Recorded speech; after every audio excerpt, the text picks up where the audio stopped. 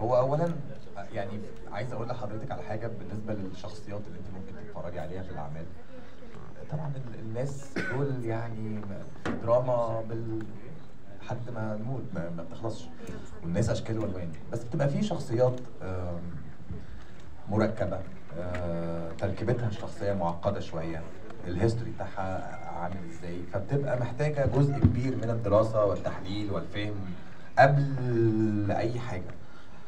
وفي شخصيات بتبقى في المتناول بسيطه مش لازم كل الشخصيات اللي بتتعمل آه، تبقى محتاجة هذا الكم من التحليل والدراسة والرسم و و و و يعني مش لازم نخش في تفاصيل.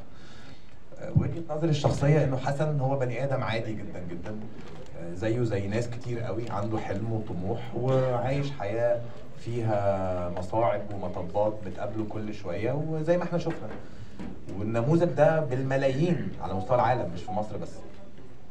آه، فهو بني آدم طبيعي جدا جدا. اللي حصل له في حياته أعتقد من وجهة نظري التركايه الأصعب وهي كانت بالنسبة لي على مستوى التمثيل هو فكرة فقدان البصر أو تمثيل فقدان البصر.